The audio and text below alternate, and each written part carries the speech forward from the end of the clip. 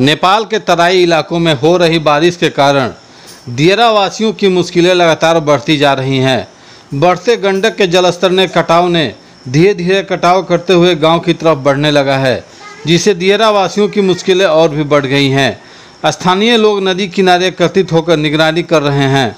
दरअसल वाल्मीकि नगर बराज से छोड़े गए दो लाख चालीस हज़ार क्यूसेक पानी कारण गंडक का जलस्तर बढ़ते देख लोग भयभीत हैं।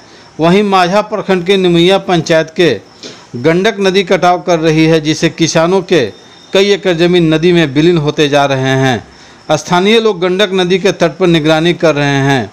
वहीं सूचना पाकर माझा प्रखंड के अंचलाधिकारी के अलावा सर्किल इंस्पेक्टर मौके पर पहुंचकर निरीक्षण कर रहे हैं। स्थानीय लोगों ने बताया कि जिस तरह से पानी बढ़ती जा रही है, ऐसे में यह पानी धीरे धीरे गाँव की ओर प्रवेश कर रहा है। करोड़ों रुपए की लागत से बनाए गए बल्ला पाइलिंग का नाकाफी साबित हो रहा है।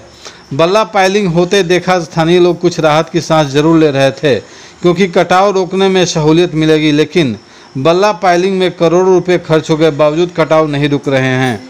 वहीं जलस्तर भी गाँवों की तरफ़ प्रवेश कर गया है। कई लोग अपने घरों को छोड़कर ऊँचे स्थान पर जाने को मजबूर हैं।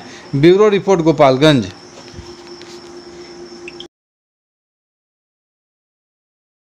राशन चाक चौबंद है इस मामले में। आपदा पोर्टल पे हमने सारे जितने भी प्रभावित लोग होंगे उनकी डाटा को अपलोड कर दिया गया है।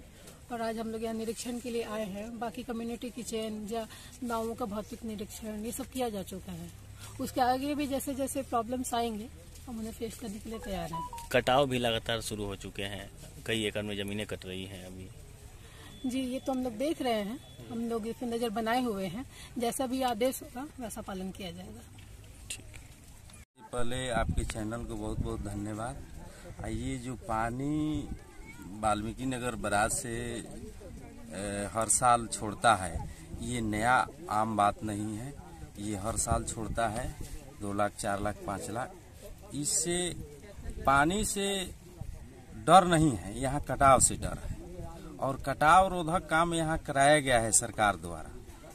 लेकिन उस पर अब यदि ज़्यादा पानी का टेम्परेचर रहेगा ज़्यादा दबाव रहेगा तो हो सकता है कि काट सकता है।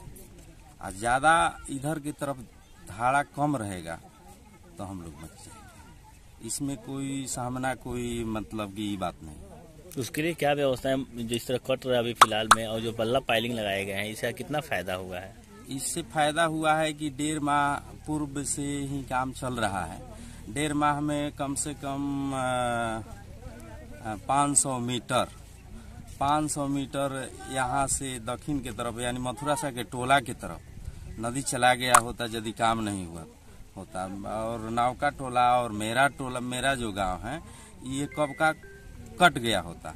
ये बाला चैनल और परको, बाला चैनल के बाद कटाव, दबाव बनाया।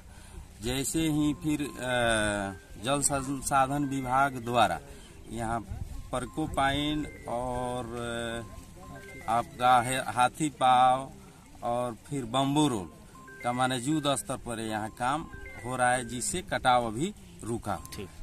कहीं ना काफ़ी साबित हुआ। क्या कहेंगे? ऐसी बात नहीं है। यहाँ के जनप्रतिनिधि भी मौजूद हैं। जब काम काम चल रहा था कटाव निरोधक जो भी कार्य चल रहा था उस समय भी हम लोगों ने इसका निरीक्षण किया था। काम तो हुआ है लेकिन जो कि पानी अभी भी ढाई लाख से ज़्यादा छूटा हुआ है तो थोड़ा सा दिक्कत है लेकिन अभी कटाव की स्थिति ऐसा नहीं है कि बहुत ज़्यादा कटाव की स्थिति बनी हुई है। फ़ायदा हुआ है। स्थिति नियंत्रण में है अभी। फ़ायदा हुआ किस चीज़ का भी फ़ायदा हुआ है? नहीं कटाव नहीं कटाव जो कटाव हो रहा था उसमें रुकावट आया है। बल्ला पाइलिंग से? है। तो लेकिन ग्रामीणों का कहना है कि लगातार कटाव जारी है। पानी आएगा तो पानी। तो अब पानी घटने के बाद ही कटाव की प्रक्रिया हमको जहाँ तक अनुभव है कि पानी निकलने के बाद ही कटाव बृहत स्तर पर या ज़्यादा बड़े पैमाने पर होता है। अभी पानी है अभी कटाव की स्थिति वैसी नहीं।